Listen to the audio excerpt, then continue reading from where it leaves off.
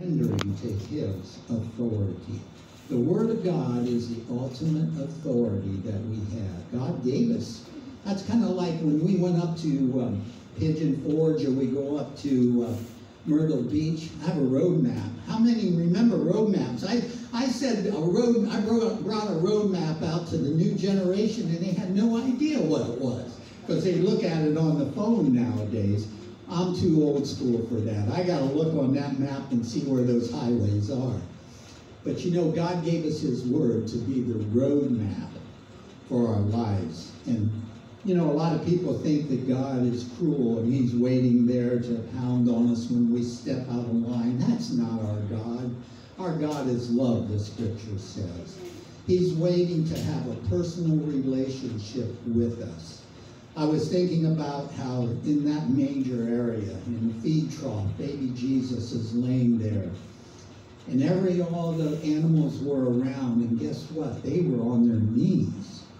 And then the people came and they bowed down to this baby because the Spirit of God was upon the Lord Jesus. Even when he was a baby, he was laying there. People knew that he was born to be the Savior of the world.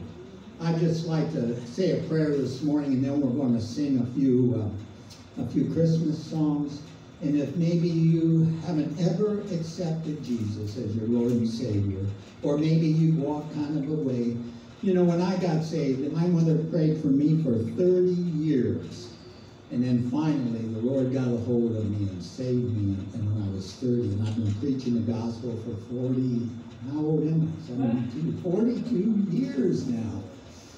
But you know, it was the greatest thing I ever did in my life. Growing up back in the 50s and the 60s, it was all about me, me, me. And now it's about him, amen. But if I'm just going to say a prayer and maybe you just say this in your heart to the Lord. Heavenly Father, I thank you, Lord, that you came into this world, that you died for me, you died for us, that we may have eternal life. And right now, Lord, I recognize I've missed the mark. We've all missed the mark. We've fallen short of the glory of God. So right now, Lord God, I dedicate myself to you. I rededicate this day to you. Let everything that